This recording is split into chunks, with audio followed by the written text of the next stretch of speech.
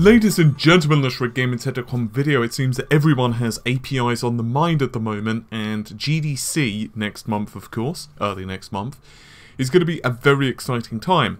Um, no more so than, of course, we've got DirectX 12, but adding to the chorus of interest would be Valve, and they are going to be unveiling the Khronos GL uh, at GDC next month. So, what the hell is Khronos? Well, you might have already heard of OpenGL. Well, this is the next iteration of that, and Valve are going to be spearheading it. Now, of course, Valve have already really started to push the Linux um, ecosystem with, for example, Steam OS.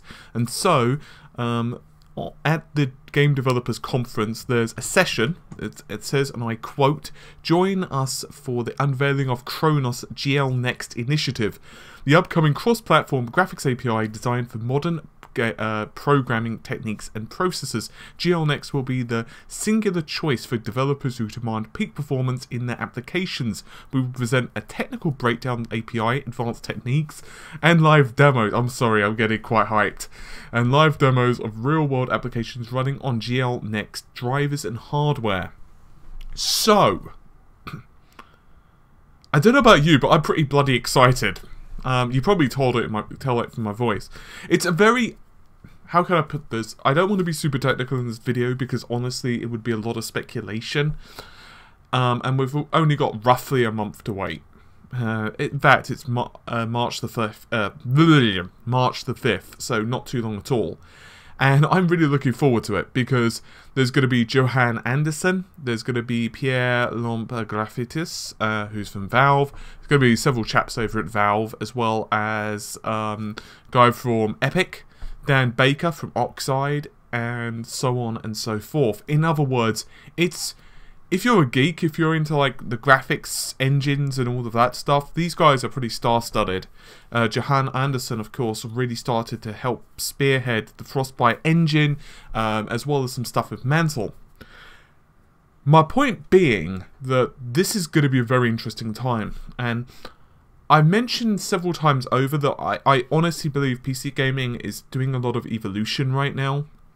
And I think this year is not necessarily where we're going to reap the benefits, but I think this year we're going to sow a lot of the seeds for the next couple of years. In other words, kind of like we're putting the crops down and they're going to grow. DirectX 12, Mantle, and Khronos, or GL Next if you prefer. And it's going to be exciting. What does it mean? I'm pure speculation because at the end of the day, I do not have access to their slides at the moment.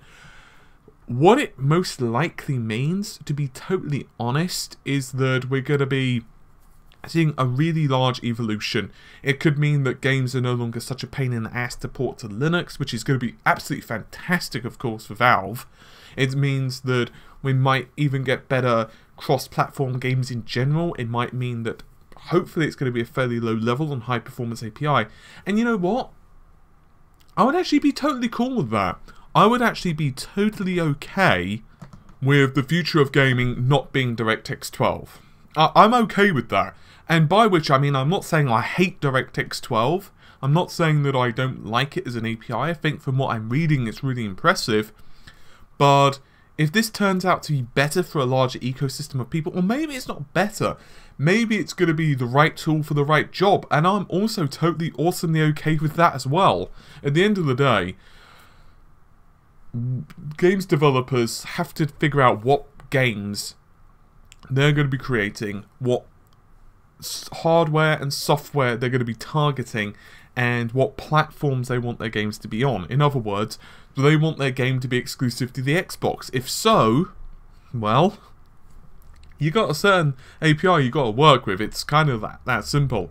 Are you targeting, you know, towards the PlayStation ecosystem? In other words, PSSL. Are you targeting towards the PSSL?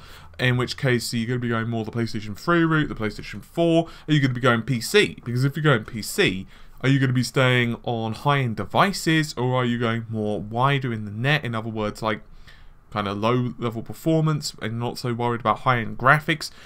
maybe you don't need a bare metal like low level API in that case so you can you know kind of optimize around this. At the end of the day, this is going to be really, really awesome stuff. I'm actually really looking forward to um, some doing some really uh, good analysis on this, particularly as we can actually do some pretty good like-for-like comparisons on DirectX 12. Hopefully, we'll have some more stuff with Mantle as well.